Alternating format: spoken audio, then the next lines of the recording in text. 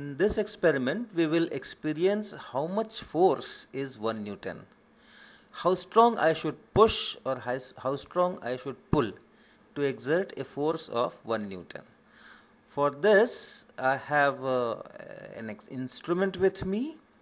And what is that instrument? You know, this instrument is a balance, a kitchen balance, normally used in shops and kitchens it has got a dial.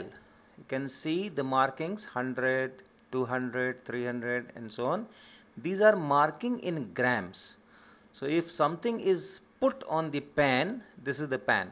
If you if you put some uh, thing on the pan that thing will press the pan and the needle will move on the dial and you will know how much is the weight there. Now if uh, i press the pan with my hand I am doing the same thing.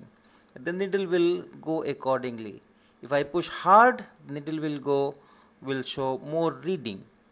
Now if I push by 1 Newton then the needle should show the marking of 100 because 100 grams weight is almost 1 Newton.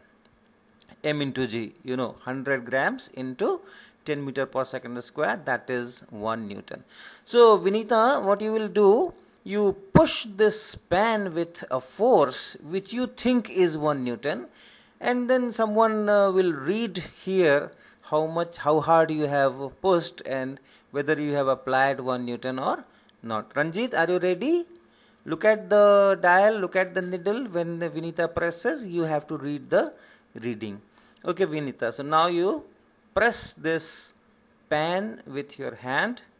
Uh, Ranjit, Ranjit just see how much is the reading now.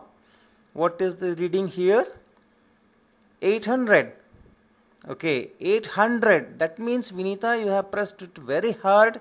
You are applying 8 newtons of force. That is why it is reading 8 newton. Yeah reduce push it lighter. Ranjit what is the reading now?